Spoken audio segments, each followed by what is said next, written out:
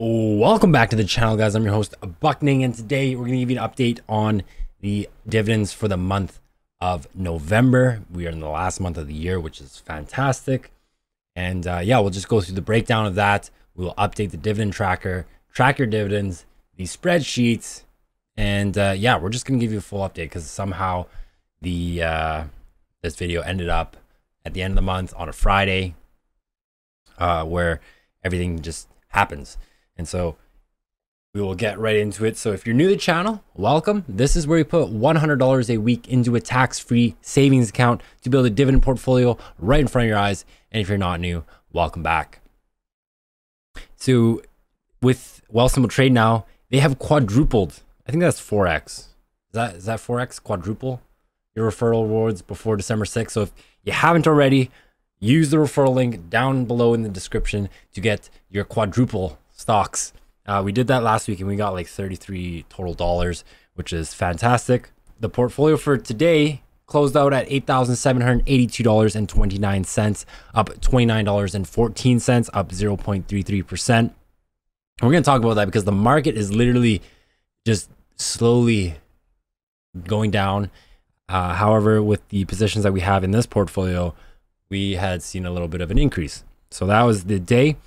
For the week, we're down $127.16, down 1.43%. For the one month, we're up $274.23, up 3.22%.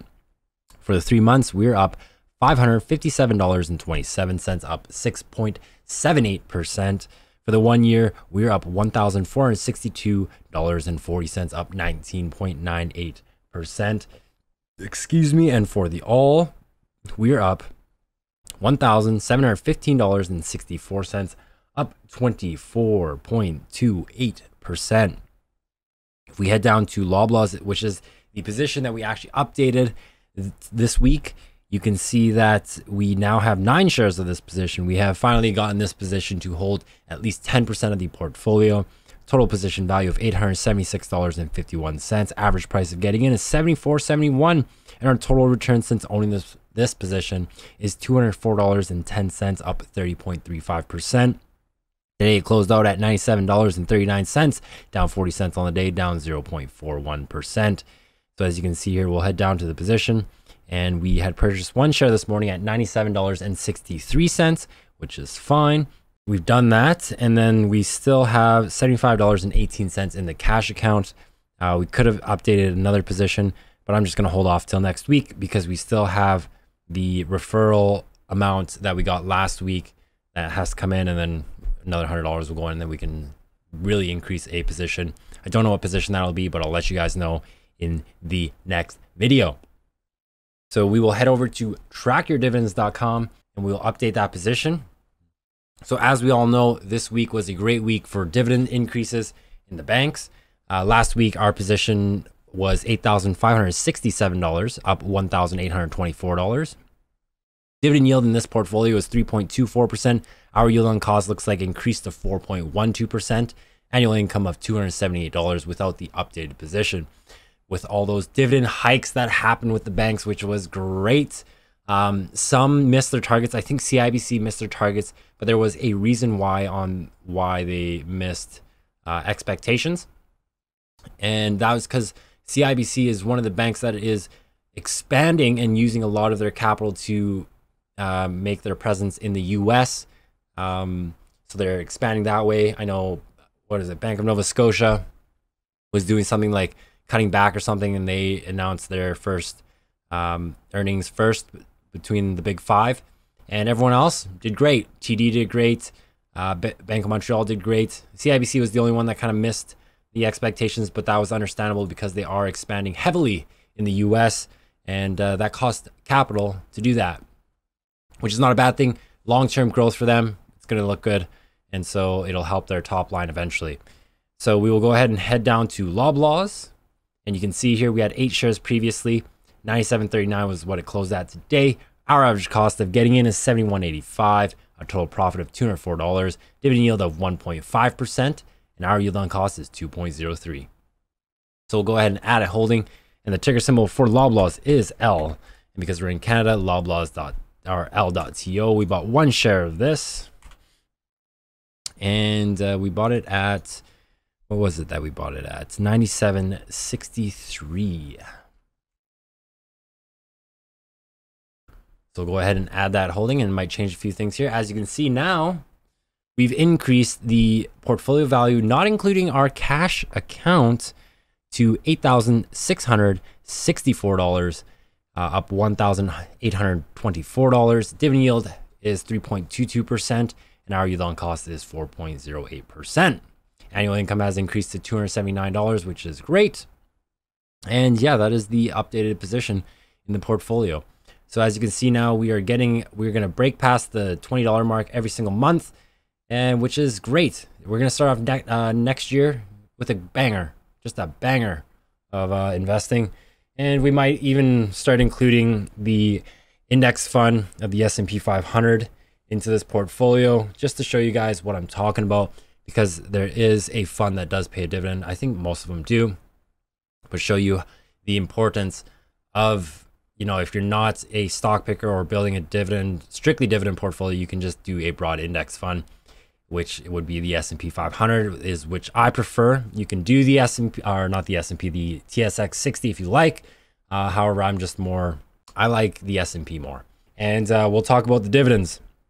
We'll break it down for you. Okay. So what you can do to see your activity, just go into activity and we want to filter it in. You want to go to tax free and we want to go into the dividend section and done. And uh, first dividend that came in in the month of November was from Toronto Dominion Bank, ticker symbol TD. Uh, we had received $4.74 from TD on November 1st. And on November 24th of 2021, from Royal Bank of Canada, ticker symbol RY, we received $11.88. And these are all banks. And uh, from BMO or Bank of Montreal, ticker symbol BMO, on November 26, we received a whopping $8.48, which came to make our dividends for the month totaling $25.10. I cannot wait for the next dividends to come in from the banks with that dividend increase because they were about a 10% increase on those, which was fantastic. And I'm sure they'll continue to increase them. But they are also doing share buybacks which will increase the price. Eventually, it will it does lag usually, but you will see a st stability in the stock price or an increase in the stock price because they are taking back outstanding shares, which means they are taking ownership back, which means your slice of the pie just got a bit bigger. Okay. So now we will pop up the spreadsheet on the screen here. And as you can see here, November has been updated to $25.10, which brings our total amount of dividends received for 2021 to a whopping $181.01. The year over year growth that we are seeing is 942%. Uh, I think we might get over to that 1,000, 1,000 mark, 1,000% mark because last year, obviously, we only used $17.37 as the baseline. And of course, it was just a portion of the year. Looks like just one quarter, three months there. And uh, net deposits, including referral links or referrals, we have invested this year $5,196.65 with a little bit extra thanks to you guys using that referral link down below to get your quadruple stocks uh, ending December 6th. So total invested since starting this portfolio $7,066.65. Market value coming in at $8,782.29 as you can see on the screen here with a performance of 11.44% which is great in my opinion. And anything over 10 is fantastic. And uh, yeah, so the market is still doing its thing. It's still trending downwards. And I'm sure there's a lot of fear happening and a lot of selling off.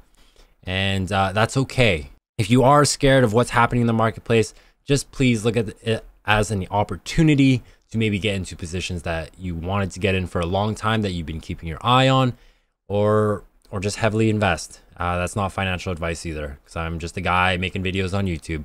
But it is a great opportunity. It's not just a Black Friday, Friday, Friday, Black Friday sale or a Cyber Monday sale. It seems to be happening all week, and it might even go into the end of the year, which is totally fine, because uh, there's a new term out there that a lot of people are using. because a lot of people didn't know about this, but it's I don't I honestly don't know if this applies in Canada, but um, heard a lot about tax loss harvesting. I'm not a farmer, um, so I don't know what it means to to harvest. All I know is that they do that. So, uh, but I'm not a farmer, so I might not be harvesting at all. And I don't know if there is tax rules to that in Canada. Obviously, I've never been made aware of it. So it might be a, a good opportunity to learn about that. So that is pretty much it for the video, guys. Hopefully, you guys did enjoy. Again, thank you for the continued support.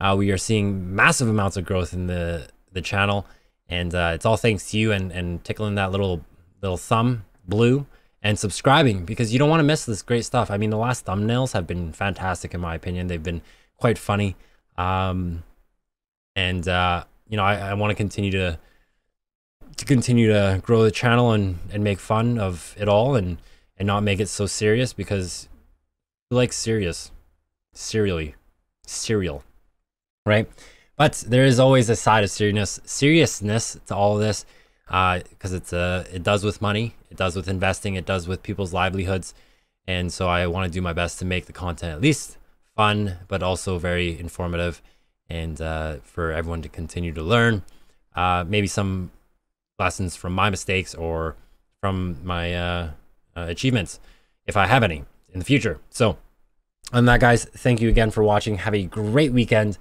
and uh, we'll see you in the next one. Bye.